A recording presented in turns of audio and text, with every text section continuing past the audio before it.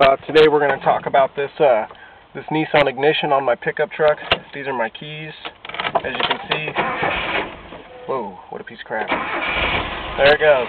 Truck runs, and it's locked. You know what I mean? Um, what I'm going to do here is I'm going to use uh, my double-sided tension wrench and my auto jigglers.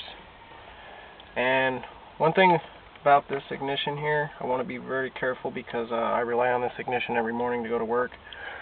Um, I'm going to use uh, my auto jigglers, but I'm going to do them very gently because, like I said, I use this lock all the time, a couple times a day. There it is. And turn off that radio here for you guys. Not sure if everybody likes Aerosmith. And there it is. Now I'm there.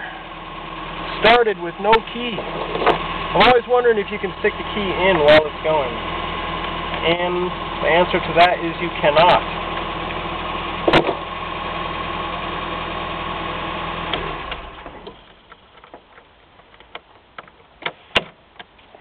And that's it. Enjoy it.